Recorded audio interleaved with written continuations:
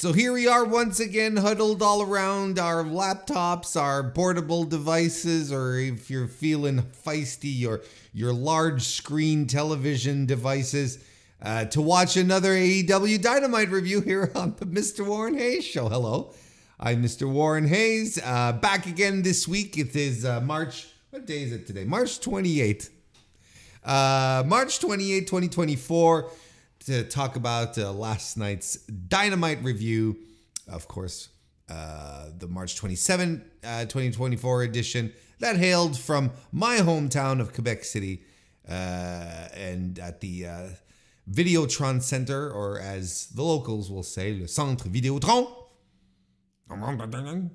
Um, so yeah, so that that's that's what we're going to talk about today. Hope you're you hope you're going to enjoy it. Uh, you know, you can preemptively like this. You know, hit the little like button, and then you like, I, you know, and then you could become like a prognosticator. You can be like, this is going to be good. I feel I can feel it in my bones. Like, and then when you get to the end and you liked it, you're like, hell yeah, maybe I have powers. Maybe I'm an X Man. Uh, and also subscribe if this is your first time here on the on the channel. And if you're listening to this on your favorite podcast application, hello, cheerio, uh, tip of the day, top of the day, t- t- t- whatever the fuck. This, this is this is one of my all-time worst intros. uh yeah five star reviews on apple uh five star ratings on spotify. You know the drill by now. Do i have a like a hair hanging here? If you're wa- if you're not watching the audio my beard's a mess. My beard's a mess. Ever since the the the the operation like i've you know i you know since i'm i'm convalescing and taking it easy i don't feel the urge to shave as much so i've been leaving I've been leaving it grow out a lot. I but I do I had I did trim it, but I think I might be due for another trim. Does that look okay? See, there's there's this one there's this one beard hair. Where is it? Where is it? Here. I, at first, I, I thought it was a hair hair, but it's not. All right, Warren, Jesus Christ. Um, the uh, the available uh, the the availability uh, of tickets at the Videotron Center, Le Centre Videotron, was very. I don't know why I say it like that. I'm sorry. Uh, we're gonna. Uh, this is gonna get on rails real soon. I promise. I promise. Uh, stick around to find out just how long it takes me to get this review on rails. Um, the current the the the, the available tickets for the uh, uh, for the show last night, according to WrestleTix, were um, minimal. But uh, you know the the setup was about I'd say about a third of what uh, maybe a little more than a third uh, uh, of uh, what the Videotron Center uh, can um, can hold overall. I mean, it, it's it, it was designed to be a big modern facility uh, to hopefully host an NHL team, and that didn't work out. That's a whole other that's a whole other discussion for a whole other time and a whole other podcast, really. Um, but um, nonetheless, according to WrestleTix, as of now, and this I don't think this is the final count yet. Um, four thousand one hundred and seventeen tickets distributed for last night's show, which is uh, pretty good for the AEW averages recently. I think you know this is this is not a bad uh, this is not a bad house. Um, still a you know it's still a, a big venue. By the way, I was there. I, I, I you know I got my ticket and and and you know it would have been pretty ridiculous of me to not go to an AEW show while they're in my hometown, while I've seen AEW shows in Chicago, in Milwaukee, in Toronto, in yeah, Montreal, and they're like 15 minutes away from my house and I don't go. Yeah, that would have been pretty stupid. Um, but so I was there, um, and um, I, I I was thankful that there was like the the the four thousand people who were there, uh, but um, like you could feel nonetheless though you, you you could you know they, they had of course full, full sections of the of the arena were, were were tarped off you know on on the, the hard cam side. Um, but you know you, you you could feel a good atmosphere. I think i don't know how it came across on tv but uh, the audience overall the, the was really into it. I was i was i was having a good time. I thought it was a very very good dynamite spoiler alert. Um and uh and, and yeah so all, all things considered i think we we ended up with a with a good number especially considering the following. I myself moi i thought that we would never break 3000 tickets. I i was in my mind i was saying if aew comes to my hometown where aew has no brand recognition at all like don't even kid yourselves. There's no brand recognition when it comes to AEW around here. Um, if they're able to, if we're able to get 3,000 tickets, I think that will be a success, right? Now it's, we, we broke the 4K mark, so I'm pleasantly surprised. Um, I would wager, I would wager that probably uh, the the the higher number count came because um, because of people making the trek from Montreal to Quebec to come see the Dynamite, especially after they announced Shibata Ospreay and uh, Strickland Takeshita, which I think are I think these are ticket movers. I for for hardcore fans, if I were in Montreal and I was like, oh shit, I could see Will Ospreay versus uh I could see Will Ospreay versus um uh, Katsuyori Shibata like two and a half hours away from where I live. Yeah, hell yeah, I'm doing it. I'm jumping in a car, I'm getting a ride share, I'm taking the train.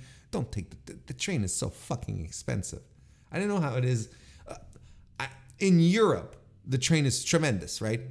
Uh, I don't know how it is in the United States. Never taken the train in the US, but here, the train via rail is so incredibly expensive and you're not really that well seated. It's not a pleasant travel experience. It really is not. You know, and and they do ads all the time. They do ads on social media and stuff. You know, maybe we Canadians or our East Coasters, us East Coasters, see a lot of these. Um, but uh, they do so many of these ads where it's like kick back relax you know and people are smiling and they're being offered drinks and so on. But it, it is anything but a pleasant experience. Yeah and it doesn't take it doesn't go really faster than taking your car. Like it, it you i i've never taken the train where i've uh, uh, uh, where I've gained in like a half hour or something like that where you're like yeah yeah we don't have to we don't have to deal with traffic you know? What like because one of the main advantages of taking the train like from quebec city to go to montreal is to avoid traffic once you hit the island the island of montreal which is you know notoriously stupid and bad.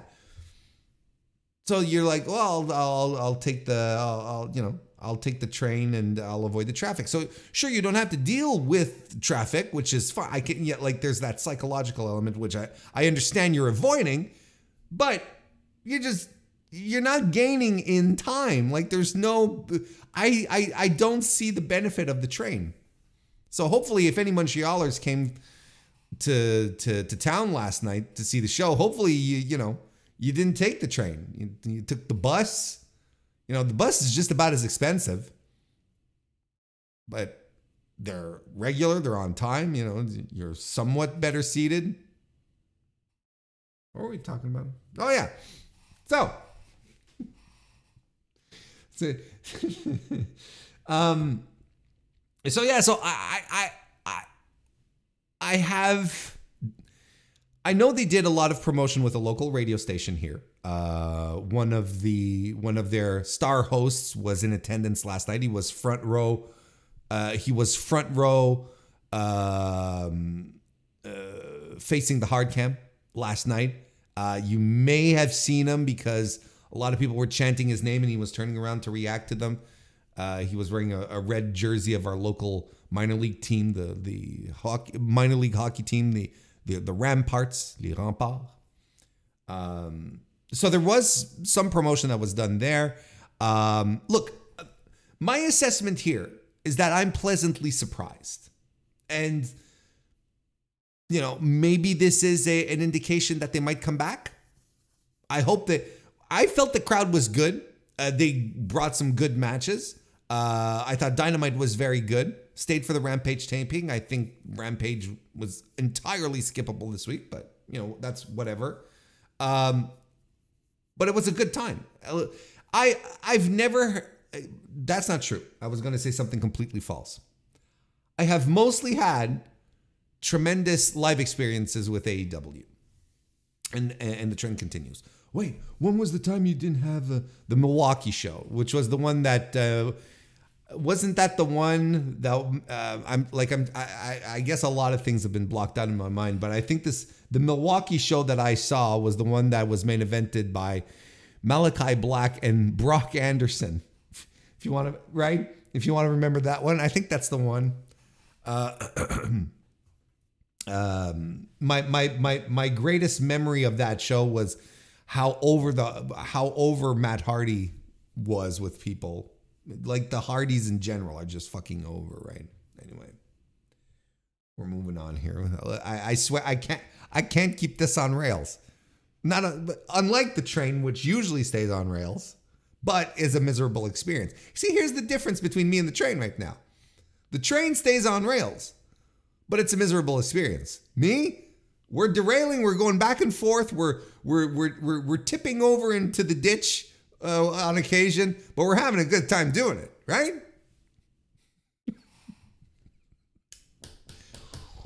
um. So yeah. So I I look. The again, these are not mind-bogglingly fantastic numbers, but uh, you know we're not we're not selling out every venue like WWE does.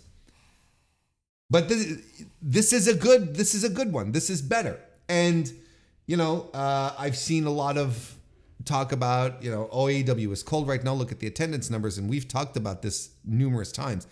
But if you look at the numbers and you look at how the pay per views are, are, are, are acting and, and, and so on and so forth, and the fact that they decided to, to run smaller buildings as well, like the Coca Cola Coliseum, instead of going to the Air Canada Center, um, you can you can absolutely tell that uh, you can actually you can see that attendance is actually in a better spot than it was months ago. Um, you know, I really believe I'm I'm part of the the the the the, the troop, the group that feels, believes um, that the creative switch that AEW undertook last year with MJF as world champion uh, the the brochacho stuff, the Adam stuff, and then leading into Timeless Toni and all the the more sports entertaining stuff that they started to do, the more they disenchanted their fans, and a lot of people just walked away where they were like, "Well, this is not what I signed up for," and it's going to take some because attendance did start to fizzle down, and I think. Not only do I think, I know that it's going to take some time to reconstruct, to rebuild that trust. Um, and I believe that Tony's emphasis on the Continental Classic uh, late last fall and uh, and getting back to matches, restoring great matches that people are excited to see. You know the the good old restore the feeling beat. Um, I think that uh, I, I think uh, these are conscious efforts. Uh, uh that these are conscious efforts made by AEW to bring back their fans. I'm not talking lapsed fans, you know, the or casual, but the fans that were there that signed up for AEW from the get-go under the guise of it being an alternative. They're like, no, look, we're coming, we're going back to what made us great. And then he signs Ospreay, he signs Okada, signs Moné. like there's a concerted effort to bring people back, and this will take time. You know, I, there's not going to be a sudden spike in in in, in attendance all of a sudden it's just like boop out of nowhere. Same thing goes for ratings but we're talking about butts and seats. Um, there's a difference between that and you know look bringing out trotting out the rock over on on on the WWE side of things is a tremendous boon. It's a tremendous asset. Like that's outside of the I, I there's no one else in pro wrestling anywhere who could generate that kind of spike outside of The Rock, who is, you know, the biggest movie star in the world. Is he, is he is it still him? At least he was. I mean, he's still a huge star regardless. You know, international movie star Dwayne Johnson coming in, sitting down, doing his shtick, cursing, sending the the WWE universe ablaze, getting getting getting Cody Rhodes to bleed. Hey, that Rock Cody Rhodes match at WrestleMania is going to be great, isn't it? What a great build. Oh wait. Hey, that that Drew McIntyre CM Punk match at WrestleMania is going to be tremendous. What a great build. Oh, wait.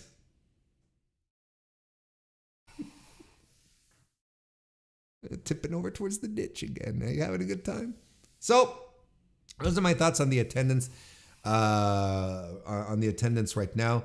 I, am sure everyone would like it to be in a better place uh, attendance wise, but uh, you know they made the choice. They that you can see they are starting to make the choice of uh, running smaller buildings like they're doing for Dynasty and like they're doing for Double or Nothing because Double or Nothing 2024 the date was announced yesterday. I believe on social media before it hit. I was a little I, wasn't super online yesterday, um, so I think I think it was announced before uh, Dynamite. Uh, May 26 is when they're uh, is when they're doing the old Double or Nothing, and they're they're going back to the MGM Grand Garden Arena, the uh, site of the inaugural Double or Nothing, back all the way back in 2019. Um, because the you know the last two um the last two uh, uh it's always been in vegas essentially right outside of the pandemic era uh double or nothings um i i think tony feels like vegas is double or nothing's home but we're going but uh they were in that they they were at the t-mobile arena an arena that is somewhat larger than uh than the uh MGM grand arena uh, so um, again, going. The, AEW had mentioned this, right? I, I can't remember in what context. Probably Tony on a media call, but they were saying that they were thinking of running smaller venues, and I am all for that. We've talked about it. I think we just talked about it last week, uh, talking about the Coca Cola Arena, the, and now they're doing it again with the um, the, with the Grand Garden, with the MGM Grand Garden Arena. Um, slightly a slightly smaller venue than what they usually run but if you can get that up to capacity it's much more interesting to have a to, to have the vision of a full building than to have a big building that has that's has spotty attendance and whole sections are empty like you can't you can't air that on TV it looks like garbage but if you do that you you, you pull up your you you, you fill up a, a 10,000, 11,000 seat arena, it looks great and it's good for morale. It's good for it's good for the the wrestlers who feel like they're they're they're performing in front of a of a full live crowd, which they are. Looks better for you, and you know, even if it's not, you know, a big arena, I mean, even if it's not the United Center, a sold out show is a sold out show. You can say your show was sold out. You know that's and that's something in, in in show business that has always existed. It's something that i was confronted with in past past experiences in my life. It's like no let's run a smaller venue sell it out because then next time people will buy tickets. Then we can maybe upgrade. People will buy tickets faster and maybe we can sell out something a little bigger next time. Like to me, this makes perfect sense. You know, I I I don't have an issue with this, especially when you consider that Double or Nothing last year. You remember what a what a, what a uh, uh, um, uh, uh an adventure that was uh, to follow the, the the the progression of ticket sales, right? Because there was a, if memory serves me right, and please feel free to correct me if you know, you know my my old age brain is coming in the way here. Um, good pre-sale. Uh, the the initial amount of, of, of, of, of tickets that were sold were very promising, but then like pretty much after the the the opening few days after the pre-sale, every just it basically stopped. There was nothing else happening, right? There was just nothing else going on. Now, um, and, and they had to, uh, they being AEW, they had to uh, like discount tickets really deeply, and they had to do these. Uh, they had to do uh, you know combo packages. Remember all of this? Like it was a like they worked hard to get in what was like about 10,000 people into uh, the T-Mobile Arena last year. Like they worked their asses off to get people into that into that building, uh, as opposed to this year where it's like, well, uh, I you kind of feel like it's a smarter strategy. How will they be able to to get up to capacity? I don't know. We'll follow that like we usually do here. But uh, uh, AEW pay per views usually perform well. They there's you know they're usually some of the better houses that they have on their tours during their year uh, outside, look, excluding Wembley. Okay, Wembley is Wembley Stadium is going is always going to be the exception to the rule. Okay, so whenever we talk about good attendances, best attendances, you know, we have to put the asterisk that excluding Wembley because Wembley is just a Wembley's a thing. It's a it's its own it's its own self-contained universe. You know, are are the ticket sales going to be? Are the ticket prices going to be? Uh, going to be uh, uh, uh, more accessible because that was a problem, if I'm not mistaken, as well last year. I still maintain, you know, I, you know, because whenever we talk about ticket prices and I, and I bring it up, that is, yeah, ticket prices are a little more expensive. You know, some folks will be like, well, Warren, you keep saying that uh, uh, ticket prices shouldn't be a problem to selling your your show if you're because if your product is hot, people will buy them at any price. Well, that's the exactly the, the AEW product right now doesn't feel super hot, doesn't have that level of hotness that can justify you, you know, selling tickets at outrageous prices, no nosebleeds at 800 or whatever. You know, that's you can I can have both opinions. I can say the ticket prices are a little high, but also in the same breath tell you, but they wouldn't have this problem if the product was hot.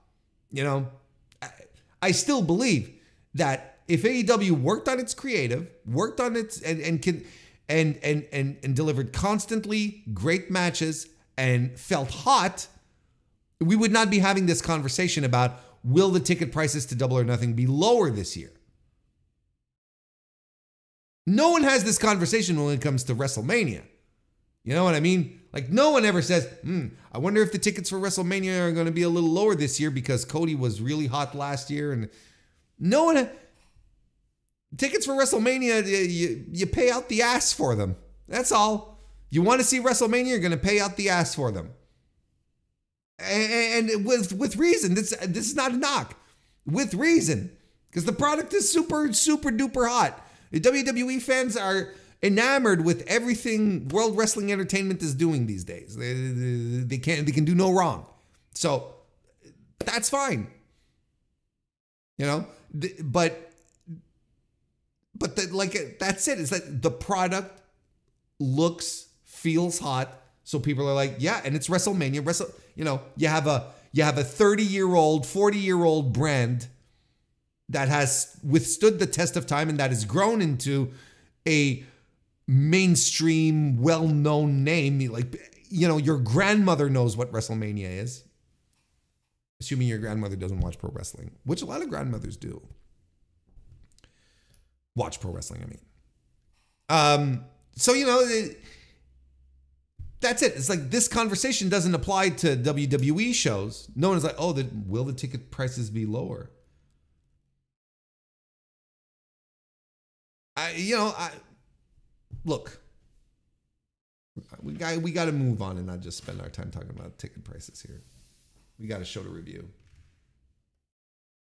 But anyway, double or nothing, May 26th, MGM Grand Garden Arena. We're back. Gonna keep an eye on that. But we'll we'll get through Des- we'll get through Dynasty first. I was gonna call it Destiny. Is Destiny a good name for a pay-per-view? I don't think so. Let's start with the show. Now, of course, there's a lot of things like I since I was there live, uh, all I can talk about is really what I saw and heard live. There's things that happen that probably happened uh, that you guys, gals, and non-binary pals saw really well on screen that eluded me, or that uh, there were story storyline beats that were being promoted by commentary. So you know, of course, I can't talk on. I can only talk about what I saw in the arena, which in, in this arena we the first match that was bestowed upon us was Will Ospreay versus Katsuyori Shibata. Um, they started off by airing footage uh, from their match from seven years ago, which was tremendous. What a this is like this is how it should be, right? This is this is this is how it should be. Just calling up your partner, calling up another promotion. I just needed a little bit of footage from their time here. From uh, okay, and you like that's a hell when when Tony Khan talks about how healthy his relationship with New Japan is, I I buy it. I believe it. I believe it.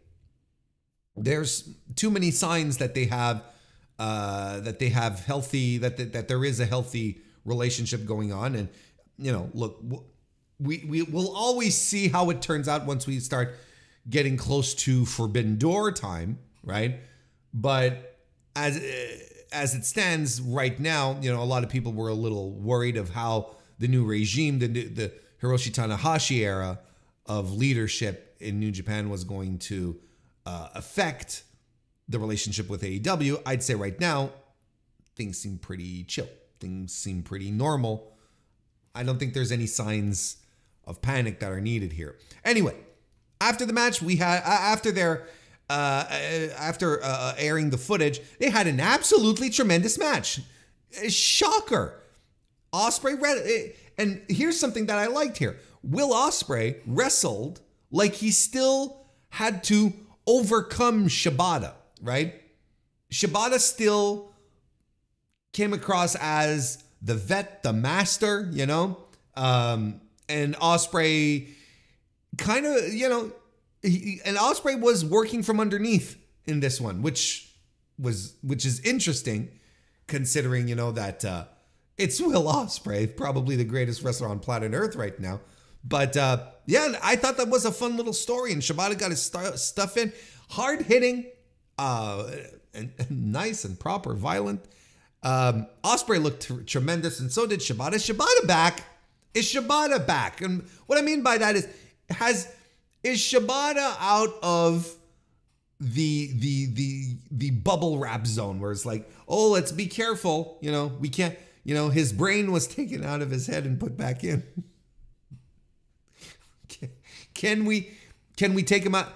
Have we removed the bubble wrap? Is Katsuyori Shibata back? Because he's eaten, you know, hidden blades to the noggin, and he and a Tiger Driver ninety one.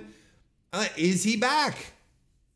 Because I'm sitting there and I'm going like this, like please don't die, you know, kind of thing. No, this was this, this was a tremendous opener. I love this so much. Uh, I'd give this a four and a quarter stars. I think that's good. I thought this was great. I thought it was a great match, great opener, and um, Ospreay is excellent as always. But I, what I really appreciated here is how I felt like we were getting Shibata back. Like he's getting back into this groove. And it's tremendous. I I didn't look. I didn't know what kind of sauce these guys are on. I don't know what kind of doctors are clearing. why some promotions will be like nope, and others, will be, you know, Danielson and and and Copeland and Shibata, you know, who all had very serious career-ending ending injuries, where they were told no, you'll never be able to do that again, and now they're still doing it and doing they're doing tremendous work. Um, I don't know, or it's the treatments. I look at some point, someone is going to have to do a deep dive because it's not going to be me because I'm not knowledgeable enough to get into this. But someone is going to have to do a deep dive here to break down how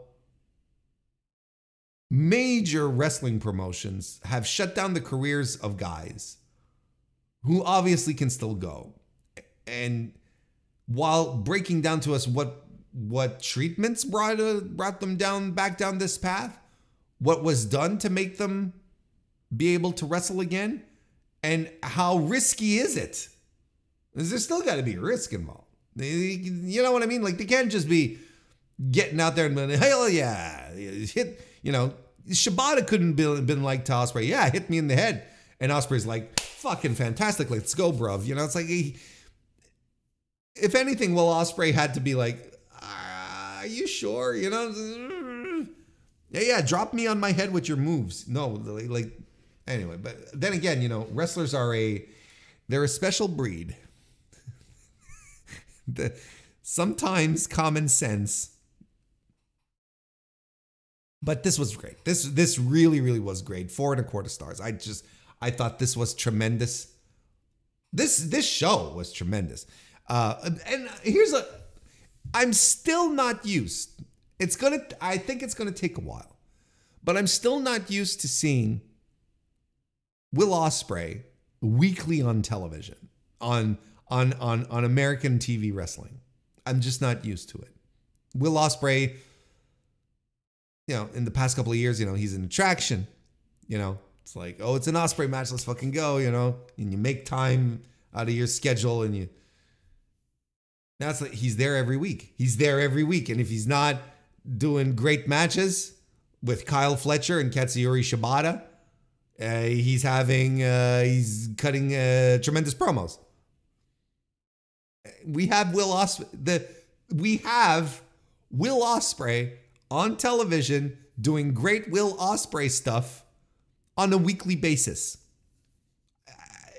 I hope it's not lost on uh, on people.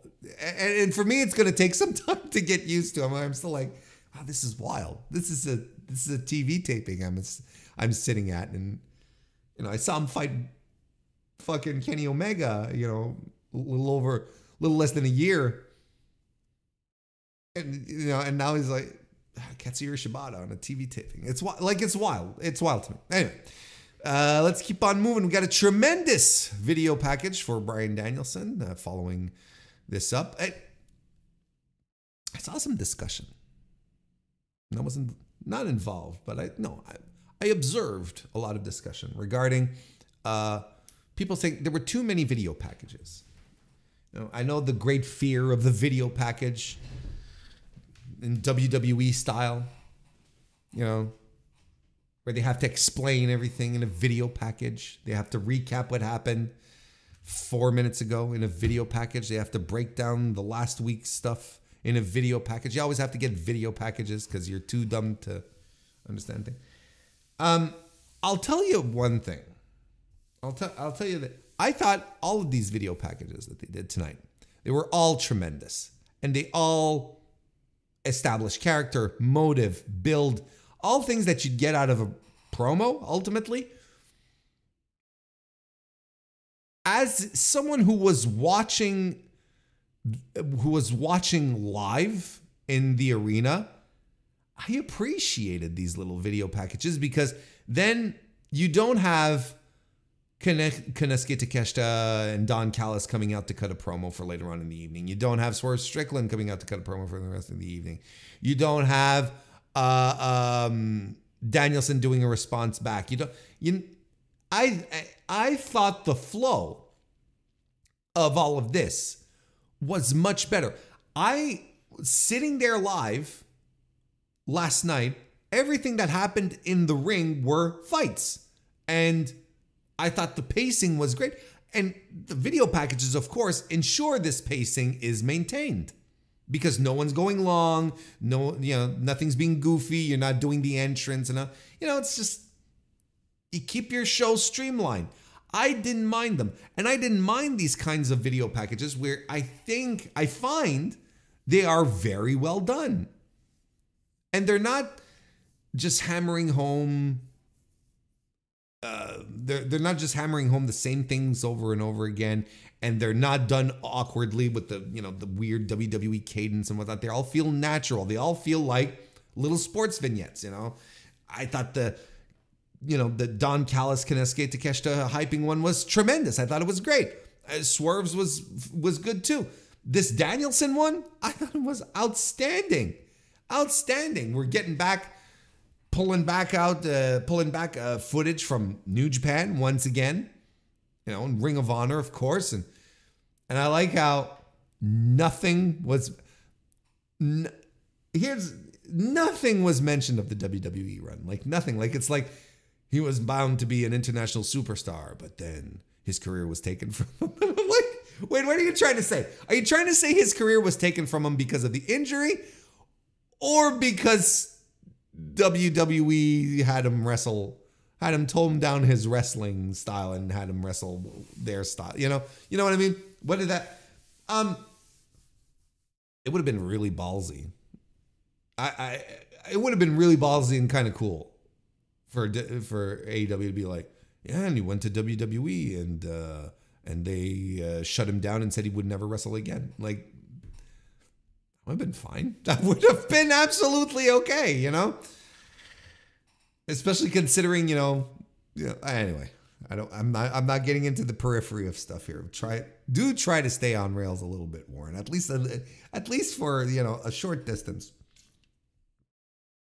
I just think it would have been really ballsy for AEW to mention a WWE because look, here's the thing, like you know, I I've again talked about this before, but it's been a while. You know, it's it's weird. I find it weird when people say, "Oh, he, she's a WWE guy, gal," and now they're in uh, AEW, and uh, it's all WWE guys, all former WWE guys. WWE was the only game in town for the better part of two decades, right? So there's inevitably going to be inevitably you're when you're recruiting you know yes you can yes it's important that you invest in the future and that you build new stars but new stars will only take you so far. You need established acts. You need people who are solid that are good wrestlers good performers. You need those people as well you know? A lot of them that that you're just going to pull that there's just a lot of them you're going to pull that are former WWE or who left WWE to do something cuz cuz it was the only game in town for two decades. So what do you want from me? You know, it's like yes. Yes, yes. Some of them are a little more shocking. Yes, you know, Jon Moxley when he was because Jon Moxley immediately left to go to AEW, you know, and Adam Copeland when he showed up, I think that was a big deal. Mercedes is a big deal as well. Like I understand the the the, the logic of it, but it's still going to be a thing, you know. Anyway. Anyway, packages, video packages. Yeah, it didn't bother me, especially live. I, I I think it's the best way to go instead of having you know backstage segments and and uh, long in ring promos. This rule, like I I have no complaints. And if it's just going to recap a little bit, add a little more heat to the main event, that's fine. You know, we're not doing pointless, you know, things where it's like, oh, last week Maxine Dupree tried to do the worm. It's like, who cares? like, you're doing video packages for the main event of your show. I think that's fine. I think that's absolutely fine. You're doing a video package where, you know, still putting Adam Copeland over for winning the TBS title and he's still bloodied and bruised and you know, and he's talking about how it was great that the Toronto audience was singing his theme. You know, it's like, and it was, you know, let, let's talk about this a little more. Let's put that over. Yes, yes. It's the kind of thing AEW should do more of. You know, put over their big, their their their organic successes like this. Um, the Bucks are backstage being interviewed by Renee. They uh, they they they they put over their match for later on with Private Party, harkening back to their history with Private Party. They even did a they did a little video montage of that as well, showing the history. And I mean, look, again, this is something that happened five years ago. I, am okay with them rehashing highlights. It's not as if it happened last week. It's like Private Party got the big win. Will they be able to repeat tonight? No, yeah. And then wasn't it then soon thereafter that we got Kazuchika Okada arriving at the arena in a Ferrari? And I, I, I laughed. I laughed. I, I, when I thought about when, when it all, but because during the the, I'll just clear this out of the way right now. During the match with the Bucks, right? To, you know, Okada's scene with the belt, right? Looking at a t- at a screen, going, "Yes, yes, ha ha ha," you know, kind of thing. And I can't help but find it extremely funny that they flew Okada up to Canada, up to our little neck of the woods here. They flew him all the way up here, okay? Uh, rented a Ferrari and have him, and had him just to have Okada step out of the car and then do one of these at the screen priceless gold. And yes, in case you're wondering, he was on location with the Ferrari. I I recognize the the he was at the arena. Then there's a there's a bus stop right there, and then there was the big bus stop in the background. That's where he was. So he was there. This wasn't pre-tape. So they flew him in for that.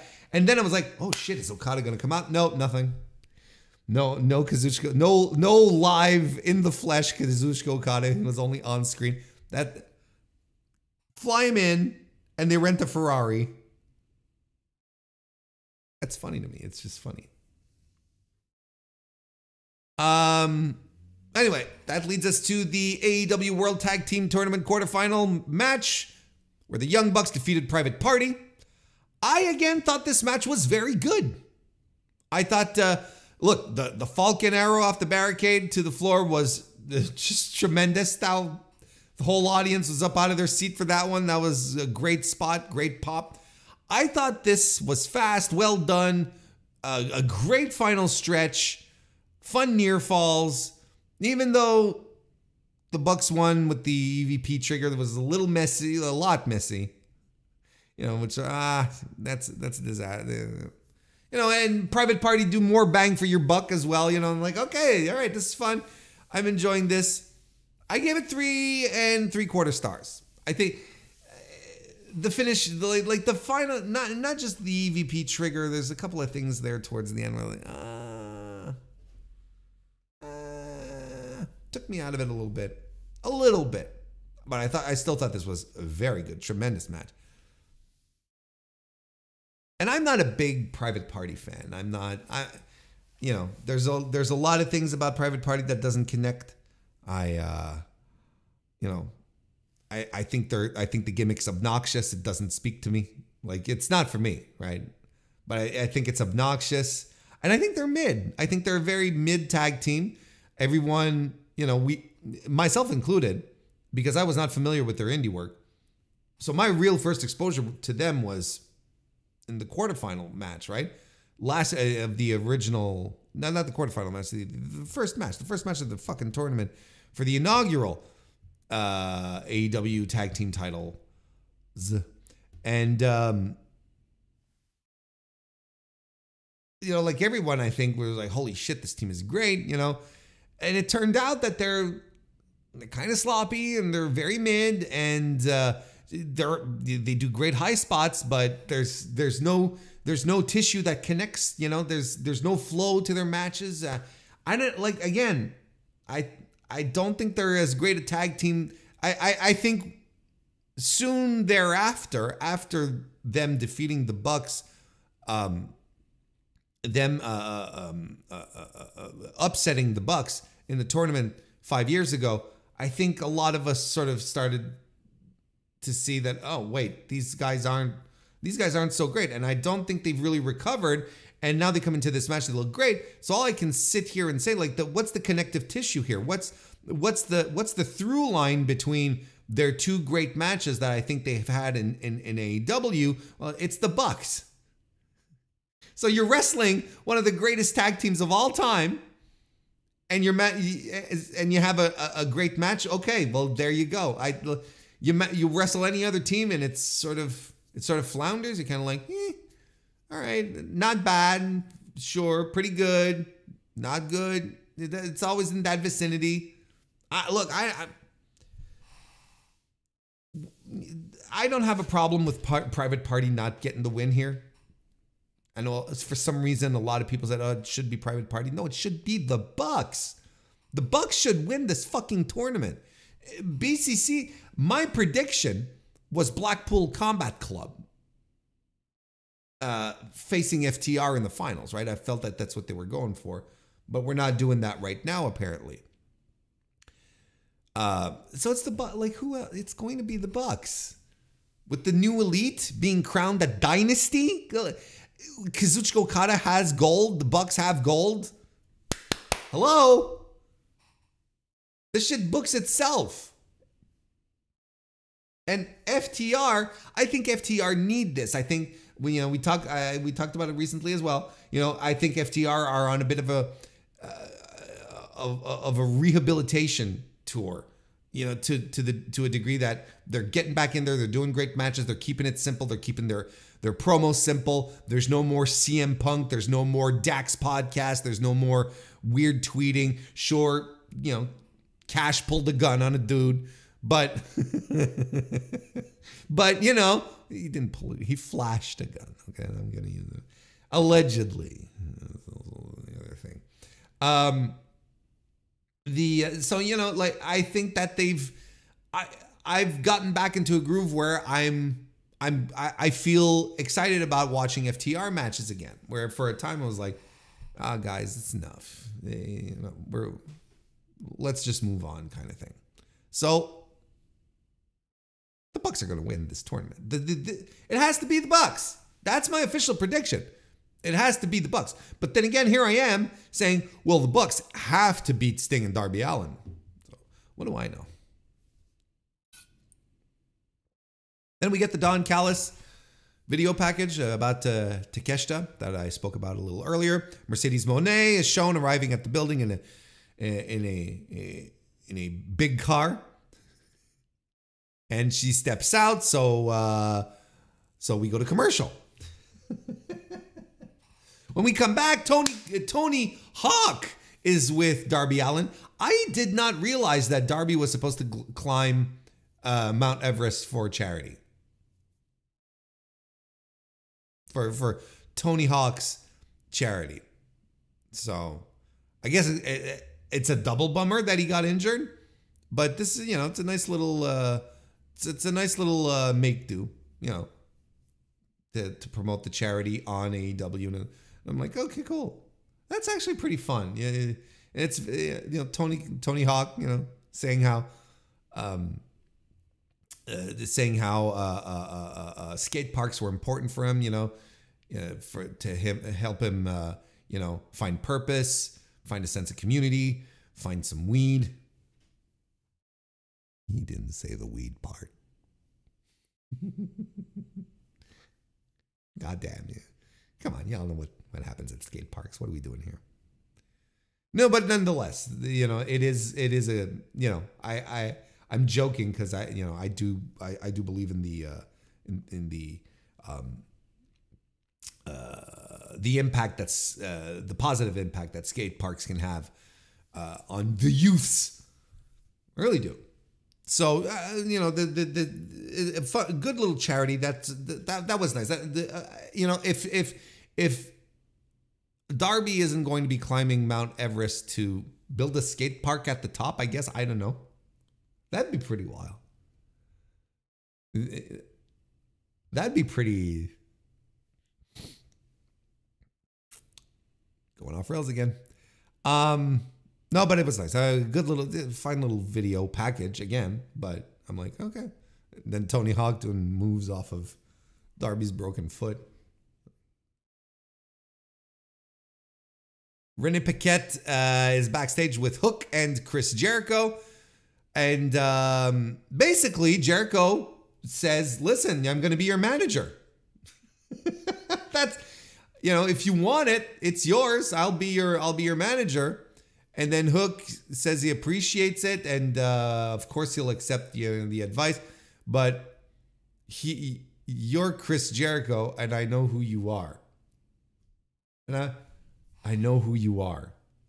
And I'm sitting there and I'm cracking up laughing because I know what he's meant to say, what, what they're meaning to do here.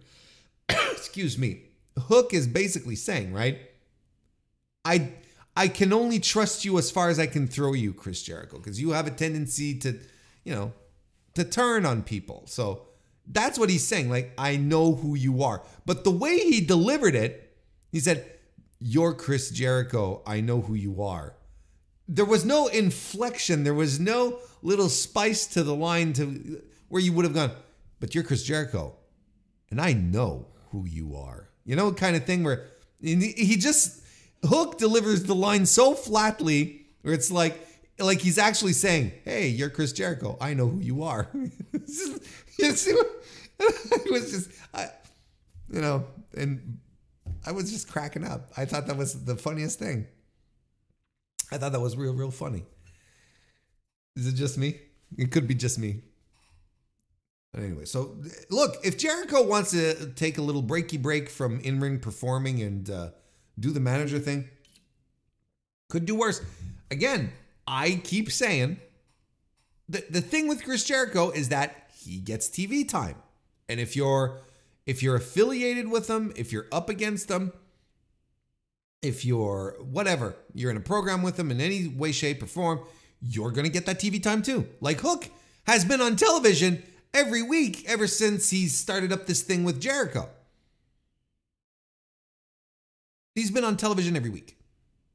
And that's how he's going to improve. That's how he's going to get better, more comfortable in front of the camera. They're going to give him tips on how to deliver lines, you know, things that don't come natural to him because, you know, he's a, he, he you know, he's a, a, a judo uh, lacrosse player. so, you know, he's not an actor. I just saw the hair again. I can't I can't seem to get it. I'm sorry, I'm obsessive with it. Um TBS title number one contendership four way match. Willow Nightingale defeated Kris Statlander, Anna Jay, and Skye Blue. Again, I thought this was good. I thought this was very good. I have no no qualms about this match. I thought everyone performed well. And you know, I'm not a super fan of four ways, but I think everyone looked good here. Man, eh, people really like Kris Statlander. People, I'm not saying that shockingly, but maybe a little to a degree. I'm like, she gets really good reactions, and she got great reactions last night when she do stuff. She come when she came out when she do stuff. People really like Kris Statlander, but you know she's she she's she's a power wrestler. Yeah, since her injury, she's she's stopped using a lot of her jumping aerial offense. She's not that she's completely uh exited out, but she's she's converted to uh to a more ground-based approach, which is good because both her knees are completely shot. So um and I think it's working out for her and I think the audience is picking up on it and I think she's a natural fit for it as well. She's doing stuff that a lot of women in the division uh, don't necessarily do because there aren't any there aren't many powerhouses. There's Willow, there's Nyla, there's who else is perceived as a powerhouse wrestler in in in the AEW women's division. A lot of them are, you know, uh, Jamie, I guess, Jamie Hayter. That's about it. You know, the rest are all nimble. They all do. They they they they they, they all take take to the air at some point. Like you want that kind of variety too, and I think it's working for Statlander. Anna Jay looked good as well in this one. Um, she's back on her Zatanna gear. I, it seems to I it's, it's been a while since I've seen Anna Jay. I don't know if this was a new thing or not, but good for her. Uh, and Skye Blue, Skye Blue, man, might be turning a page on Skye Blue. Might be, might be, might be turning the corner here. You know, because I, I, I, you know, I didn't. I, last year, I thought she was uh, tedious and boring, and uh, I didn't think she was very good. This in this match here, not only did I think she was pretty good, she ate shit. Like she ate complete shit throughout the entire match, and um, bumping for everyone. She, she's like you know the div- she that that's she's the bumper for the division. Like she she ate so many big bumps here that not neither of the other three ladies took as big, you know. I thought I, I, I look, is it the is it the the the the switch of role, you know, where now she's a spooky girl, uh spooky goth girl with uh, her pal pal Julia. Uh that's that's reawakening something. I feel I feel she looks motivated. I feel uh, I feel she's she's working harder. She doesn't come across as, as sloppy. I think this is something that might be suiting her. Look, I'm not suddenly saying that all of a sudden she's you know fucking Bruno Sammartino, you know, and the you know greatest one of the greatest wrestlers that that, that ever existed. But I, I think there's a, there's a definite improvement. I, I've noticed it over the past few matches that she's had, and it sort of struck me last night, where she's like, Jesus, she's really working hard. And there was a whole bit too when they were doing. I think they, they might have been doing, they might be flipping camera. There was a time where they were paired off towards the start of early in the match. Anyway, they were paired off.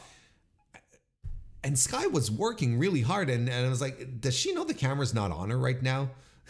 you know, it's like, it was tremendous. It was really good. It was good, good, good.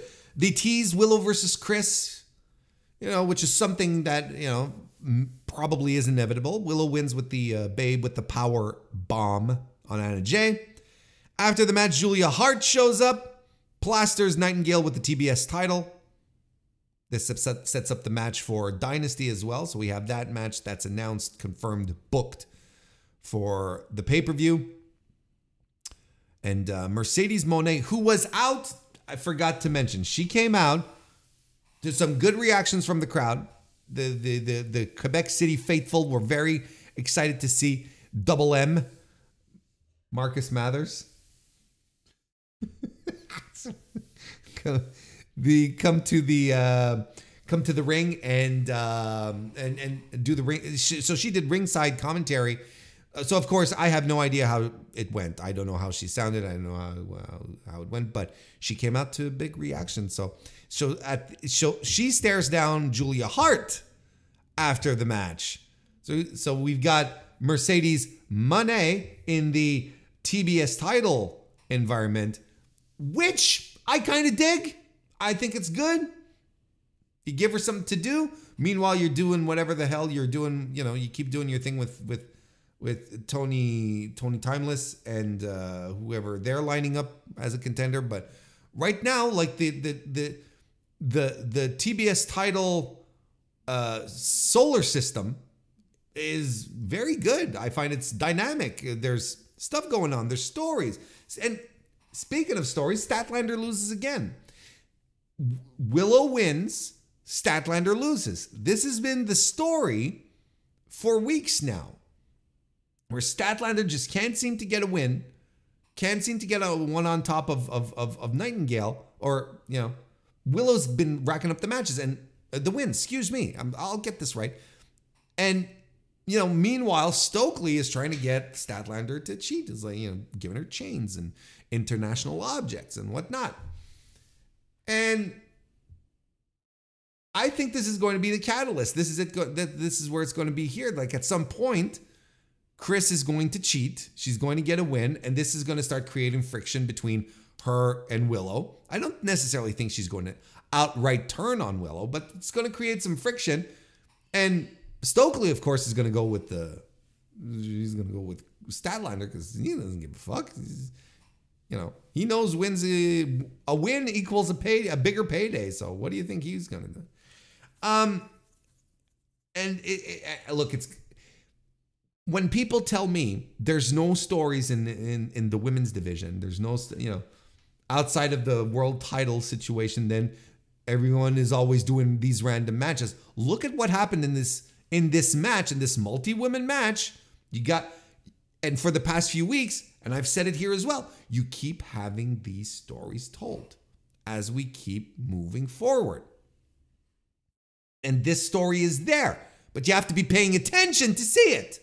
Because it's not, it's not being driven down your throat with uh, uh, video packages every week. So you have to pay attention. So you have a story for the TBS title, right? Which is Julia and, and, and Willow at this point, with a little Mercedes Moné sprinkled on top. Then you have Willow and, and Statlander, which is happening on the side. And then you have, well, Timeless Toni right now is still embroiled with uh, Purrazzo, and now she's got T- Thunder Rosa on her heels. Like, there's all sorts of stuff going on. There's stories brewing everywhere. And there's even tension between Deonna Purrazzo and Thunder Rosa, right? Remember that? Oh, but but but there's no stories being told in the women's division. I'm I I I hear often. You're just not paying attention. Or you want someone to read a book out to you, you know. Anyway, uh, a good little match. I enjoyed that. I enjoyed that. By the way, just um, as a as a footnote, since we're talking about the women's division here right now, um, Toni Timeless Toni, came out during the Rampage tapings, you know, uh, with Mariah May, and uh, Mariah May had a match. So Toni came and uh, uh, Toni Storm, Timeless Toni. Jesus fucking Christ, Warren. Timeless Toni uh, came out and uh, and and and cut an in-ring promo, and the audience, the Quebecois audience, was not excited about this, and uh, I'll be curious to see how it comes out on Rampage. But there were very pronounced "on s'en calisse" chants, which is a Quebecois uh, expression, which basically means who, which basically means who gives a fuck.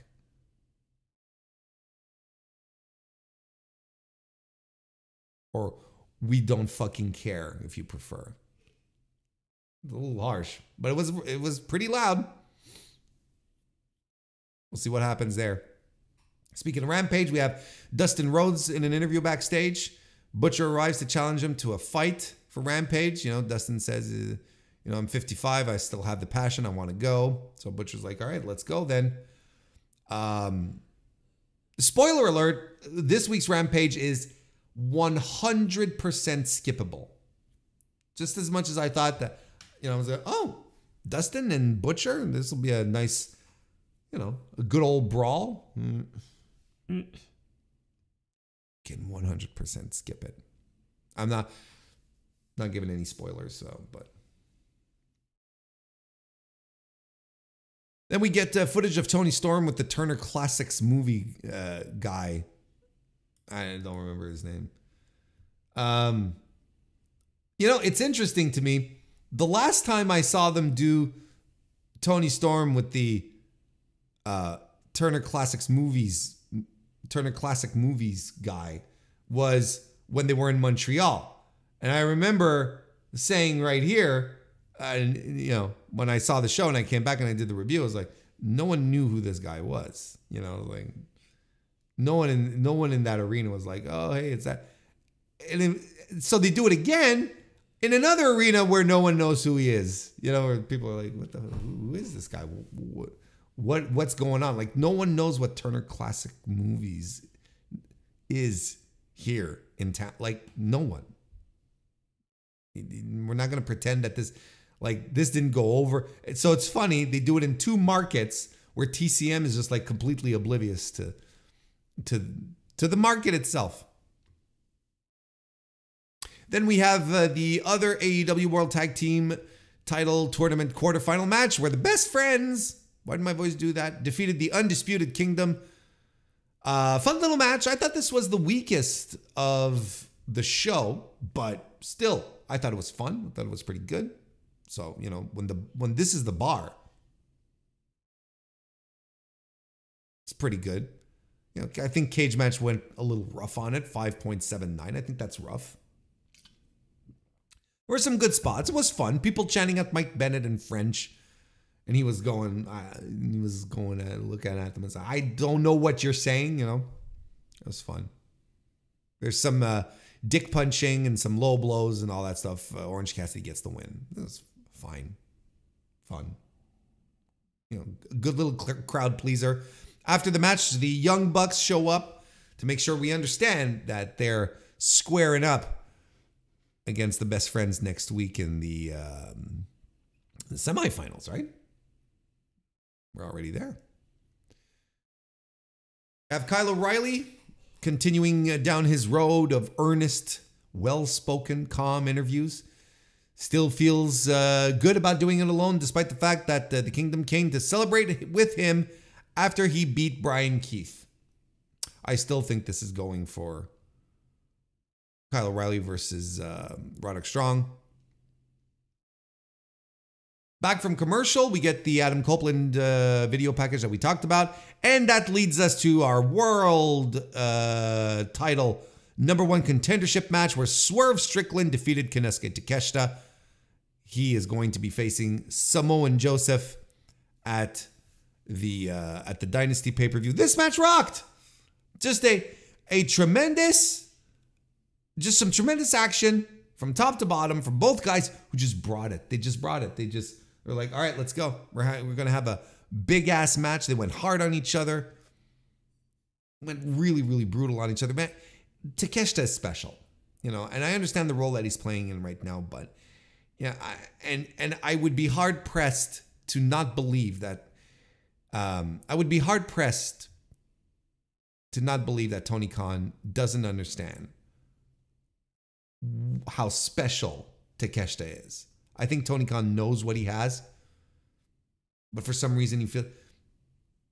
Look, we can go back to last year, and when Takeshita was popping up on AEW before he got signed, and and how how he got over with his work, and I think this is like that's his strength. I think it, I still think babyface Konosuke Takeshita in AEW is a layup. You let the guy have matches. You, and he and I think you have yourself a, a, a superstar. I think it's a layup. But we're still treading on water. We're, we're still treading. We're being touch and go with it. Swerve, but you know, I also see the, the story panning out where, you know, eventually Takeshita, you know, he's not winning matches. He's aligned with Don Callis, but he's losing the big ones. He's like, no, he, you're not doing me any good. And then he turns on Callis, and Callis gets mad, and then we have a whole feud. And why not Kyle Fletcher versus Konosuke Takeshita? I mean, I'd be down for that. Um, so uh, you know, I, I, you know, you can see what this, how this is going to eventually turn out. But right now, you know, you're like, what? And, uh, and Swerve Strickland, I'm not taking away with anything from him. He's just a star, and you see him live you know, he's got big room energy. He's he's got the charisma, he's got the presence, he understands how to perform, he he's athletic. I, I've been harping on Swerve for a while. You all know this, but you know, it, it's nice to see that we're getting closer to the to the target, right? And this turned into a match that I had a blast watching. There was that evil looking stomp that Strickland did on Takeshita on the apron. Uh, I didn't know how it it looked on camera, but from our vantage point, oh, it looks so nasty. It looked like he landed on his face and just a, just a mess. Um, the poison run into the blue thunder bomb by Takeshita was outrageous. It ruled. It ruled. Just a great main event. Uh, Swerve does the uh, the top rope stomp and Konosuke kicks out, so he has to finish him off with the JML, the JML driver. Not the finisher this week. JML driver for the win. Um, look, they're doing everything right, right with Swerve, and this was the good spot. Super over in the crowd. Uh, everyone loves Swerve. That's that, that's just how it is. So the championship chase is been has been very good. Then you know Joe pops up on screen and was like, "Yeah, come out, Joe," but he didn't. Uh, and he expresses his discontent at this uh, at this situation. He did not want to face Swerve. Now Swerve is the number one contender. The rating, the rankings now have been released by Tony Khan to confirm that. You know, you look at. Let me pull them up here. I'm not prepared because I, I just I wasn't planning on talking about the AEW rankings, but uh, you know, you take a look at you take a look at these singles champions. Samoa Joe, Adam Copeland, Roderick Strong, Kazuchika Okada. Like you look at the pictures there. Like, holy shit. And then you the contenders, Swerve, or, uh, Orange Cassidy, Mox, Will Ospreay, Danielson. I mean, this is it's as close to a dream fed that we'll have seen in our in our lifetime. Do you realize like when you look at it when it's presented to you right here you're like Jesus, what a promotion. It's so incredibly badass.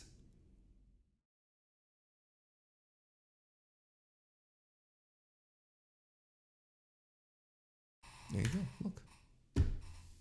That's uh that's my final thoughts there. My final thoughts on a very good AEW Dynamite, which I, you know, I had a tremendous time uh, being there live, but uh, because the show was so good, it was a it was a really really good episode of Dynamite. I didn't have a problem with the video packages. There was there was virtually no nonsense. Everyone everyone brought their their their their their working boots. I enjoyed this tremendously. And there you go. I hope you did too, but I I mostly hope you enjoyed this review. That's what that's what I'm here for. Uh, if you did, leave a like. If you didn't, don't. If you want more out of this, uh, this, this this face right here, well, subscribe to the Mr. Warren Hayes channel on youtube.com slash Mr. Warren Hayes or on your favorite podcast application. I'm there as well. Thank you all once again for joining me today, and I'll see you next time.